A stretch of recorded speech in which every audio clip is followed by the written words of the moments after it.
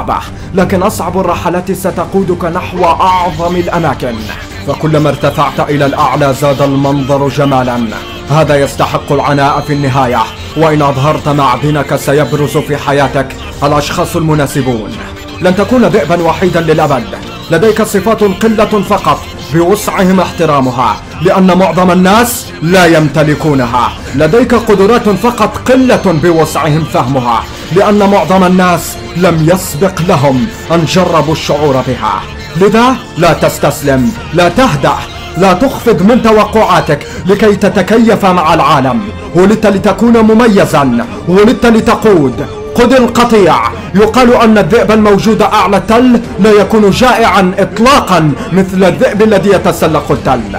كن دائما ذلك الذئب الذي يتسلق التل. كن دائما جائعا للمزيد. كن جائعا لأجل النمو لتغذي عقلك ولترتقي لأعلى مستوى.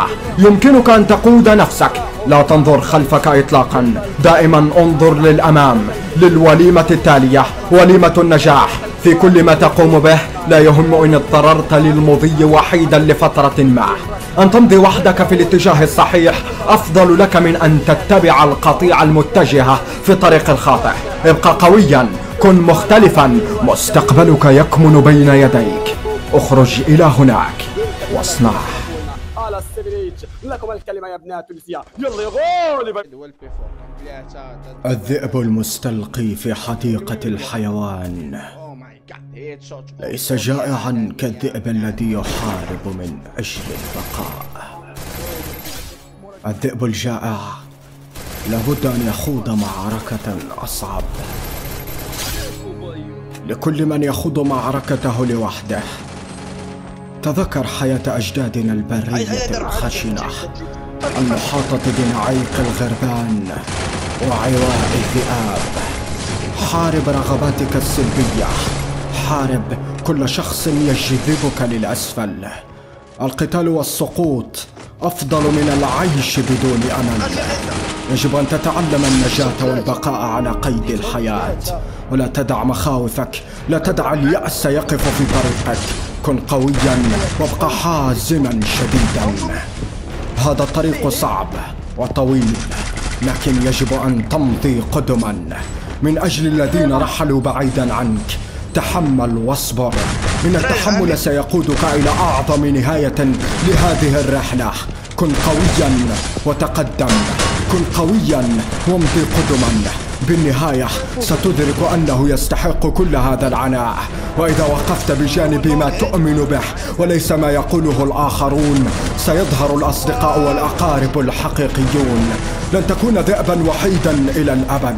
لذا لا تنظر إلى الخلف. فليست كل سحابة تظلم السماء تأتي بالمطر تطلع للمستقبل إلى الوجهة المشرقة إلى المسار الذي اخترته.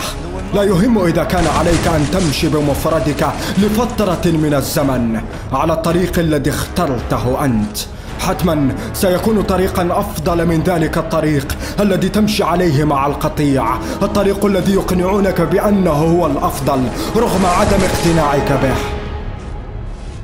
أحترم شخصيتك وأخذ اختيارك بكل فخر.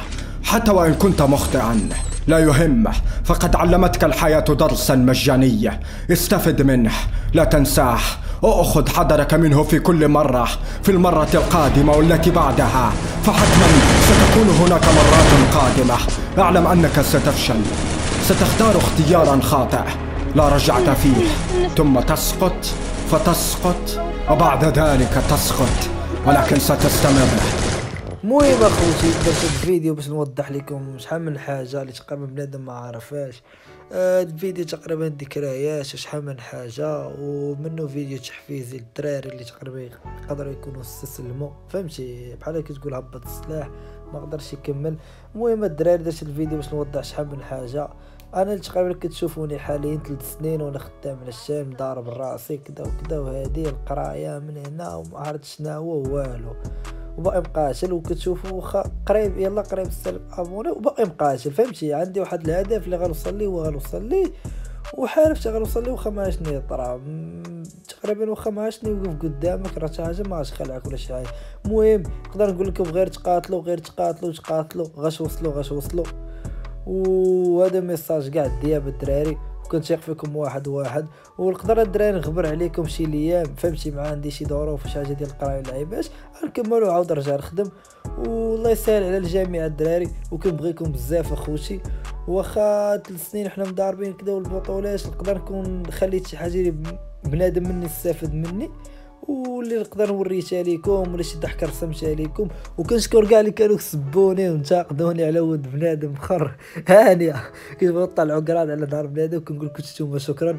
وإن شاء الله اخوتي تقاشعوا شي فيديو جديد. وهاد السيمانة ولا السيمانه الجاية نقدر بعدا نحبس. المهم الدراري كانت شي حاجة غير إنستغرام. تواصلوا معايا راه ندوي شحال من حاجة نشرحها لكم. إن شاء الله اخوتي